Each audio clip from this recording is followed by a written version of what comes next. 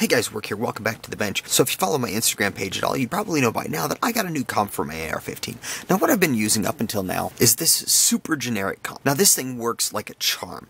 It does a really good job of compensation. And I got it off of Amazon for like 25 or 30 bucks. You can actually find a tactical cheap shit about this, and I'll post a link to that somewhere up here. So the reason that I'm swapping out my comp, reason number one, the last time we were out shooting at the anvil, my buddy and I were doing some side-by-side -side drills, and this comp was beating the crap out of him. The muzzle blast from this thing was just pounding him. So I decided to go with something that should minimize that a little bit. The second reason is this thing's pretty plain. It doesn't look all that fantastic. It does the job, it just doesn't quite fit with the rest of my rifle. And the third reason is I just kind of wanted a name brand comp on this thing. So what did I go with? I went with the Strike Industries J-Comp V2.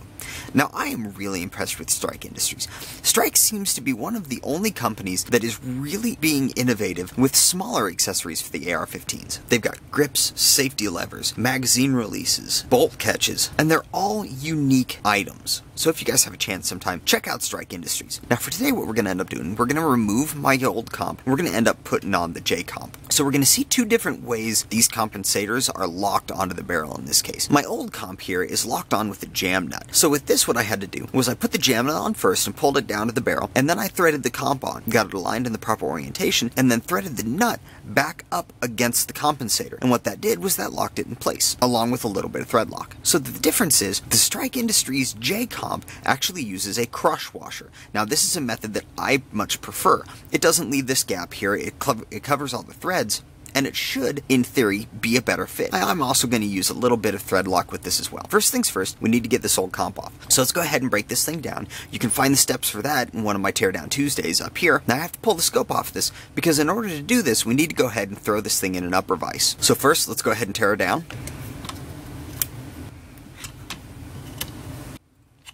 Let's go ahead and get the scope off here. We're to have to pull the back side as well. For this, I'm going to break out my Winchester kit. The reason that I'm going to break this kit out, this kit has some extremely wide standard fittings so that I can use the entire width of these to actually crank on this. Okay, so there's the sight.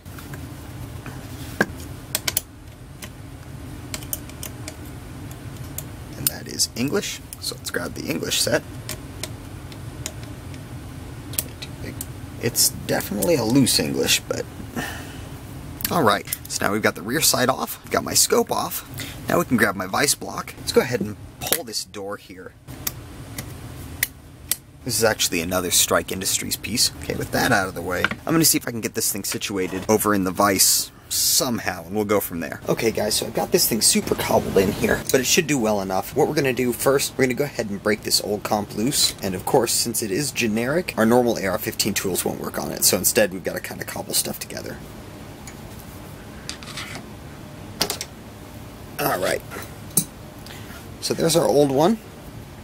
Let's go ahead and pull it off. Now, this comp has actually done me pretty well in the past. I really liked this thing, but I'm not sure what I'm going to end up doing with it. I don't have another 223 rifle right now. I'm either going to keep it for my next 223 rifle, or if I hit 500 subs in the next month, I'll go ahead and do a giveaway on it. Okay, so now that we've got the old muzzle device off, let's go ahead and get the new muzzle device on. So the first thing that we need to do is we need to install the crush washer. Now, as I said, I actually prefer crush washers over the jam nuts. Now you can kind of see the crush washer is a cone shape. It has a narrow side and a large side. So the narrow side is actually going to go against the barrel. The large side is going to end up going against our muzzle device. So let's go ahead and place the crush washer on. And the next thing that I'm going to do is I'm going to put on some Loctite. I'm going to use red Loctite, the high strength Loctite. And for Loctite, you don't need a whole lot because as you thread with Loctite, it's actually going to spread that Loctite around the entire surface. So we're going to let that set for just a couple of minutes. And once that's tight, we're going to go ahead and hand tighten our muzzle device.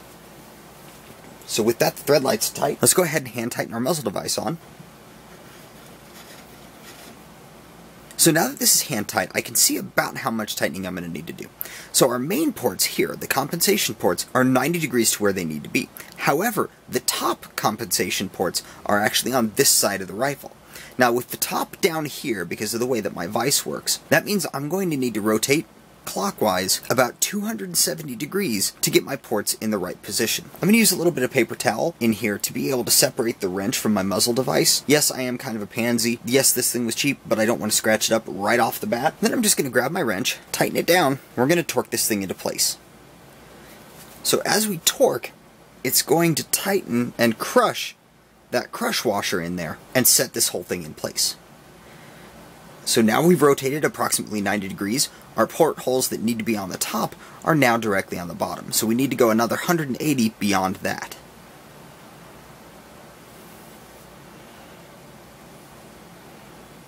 There's another 90. Now we will need one more 90 degree torque and we'll be all set. Give it the last little bit.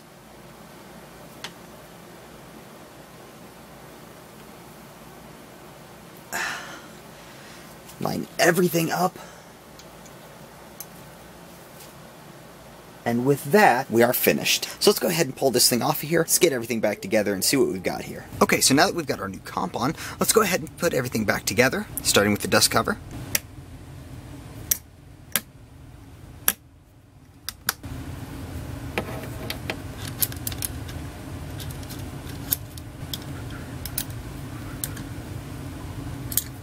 One last bit here.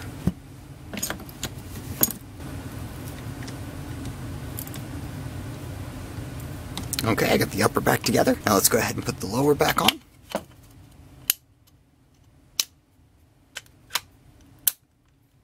we are finished. So that's how you put on a new comp. Now I'm really excited about trying out this Strike Industries J-Comp. This thing looks really good on this rifle. I think this thing fits my rifle so much better. I've heard wonderful things about it, and hopefully, with the two primaries and the hybrid flash hider up in front, it won't blast my buddy quite as much with that muzzle blast.